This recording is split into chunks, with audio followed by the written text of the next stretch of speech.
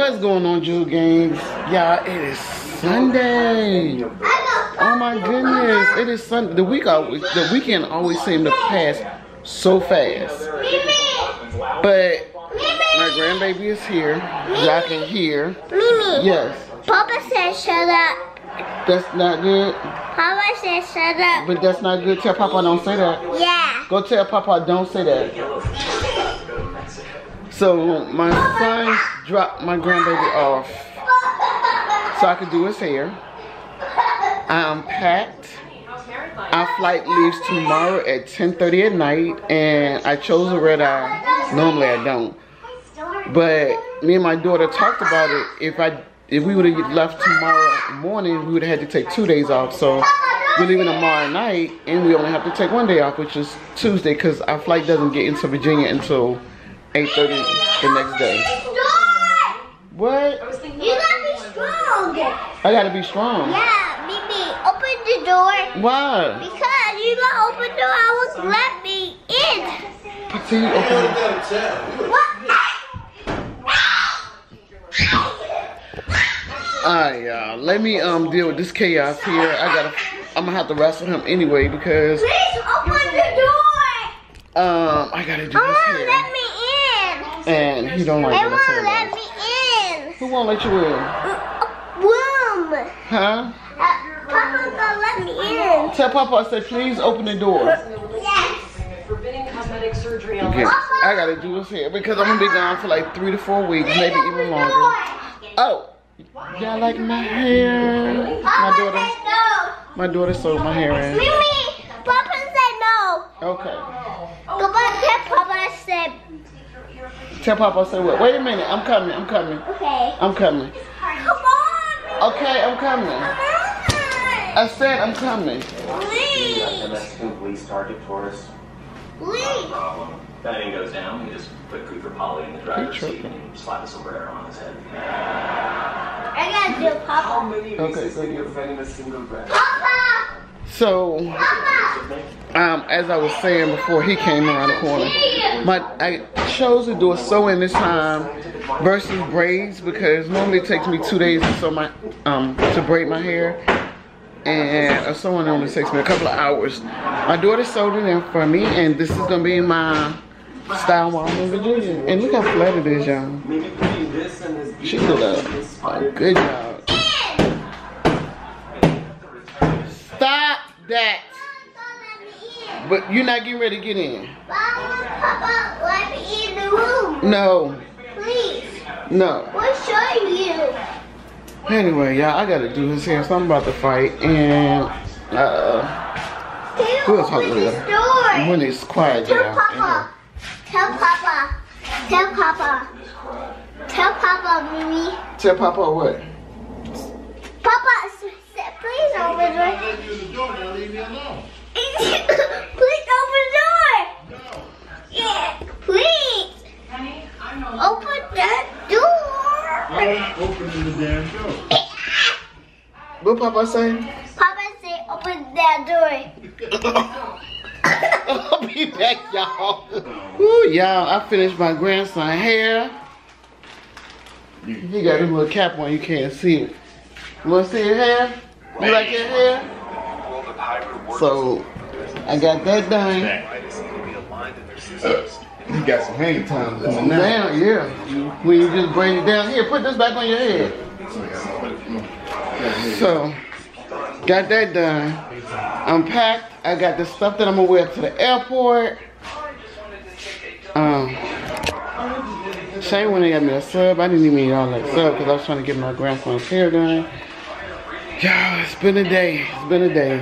Alright, man, we try to come see y'all before y'all leave, mom. Alright, because we got to be at the airport at 8. Thank you. This one. Yeah, we gotta. good. Yes. we gotta be at the airport at 8 p.m.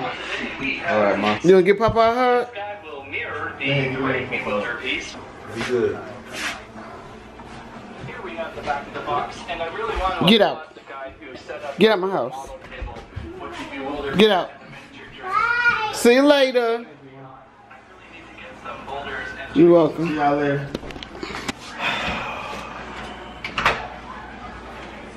All right, y'all. This boy had me watching How to Train Your Dragon and How to Train Your Dragon and Shark Dog and How to Train Your Dragon. I'm so sick of Netflix right now. And I still gotta clean up this living room. I'm tired at this point. Y'all, did y'all see that?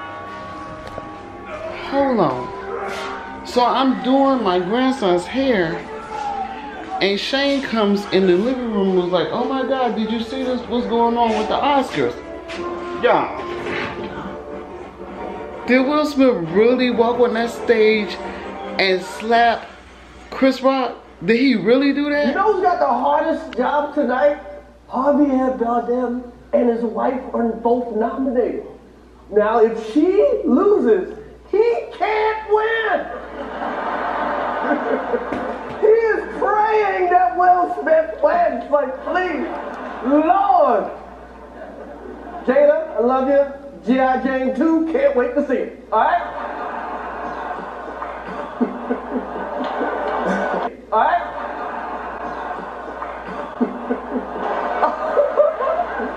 That was a that was a nice one. Okay.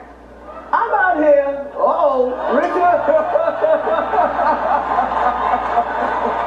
oh wow. Wow. Will Smith just smacked the shit out of me. Nick, name out your fucking mouth. wow, dude. Yeah. It was a G.I. Jane joke. Keep my wife's name out your fucking mouth. I'm going to, okay? I can, oh, okay.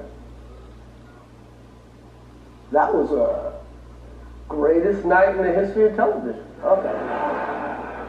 Okay. Was that not the craziest thing that you could have ever seen? Like that was crazy. Now, if y'all pay attention, Will was laughing at first until he realized Jada was upset about the joke.